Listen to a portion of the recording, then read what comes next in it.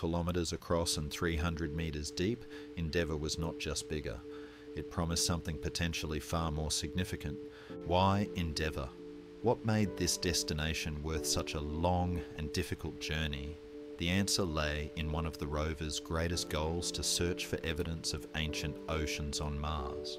By 2008, both Spirit and Opportunity had shown that water once existed in the regions they explored, but the water they discovered evidence for was limited to shallow floodplains, places that filled and dried over time. These were temporary wetlands, not lasting seas. Orbiting high above the Mars, Reconnaissance Orbiter had identified something tantalising near Endeavour clays or hydrated minerals.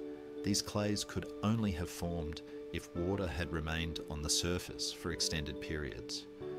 Could Endeavour's rim be a shoreline, a remnant of a true ocean? And if Mars once held such an ocean, could it also have offered the conditions necessary for life? These questions drove the mission forward. Leaving Victoria behind, opportunity began the slow, careful trek across the Meridiani Plains. Progress was steady. By Sol 1818, it had already covered more than three kilometres.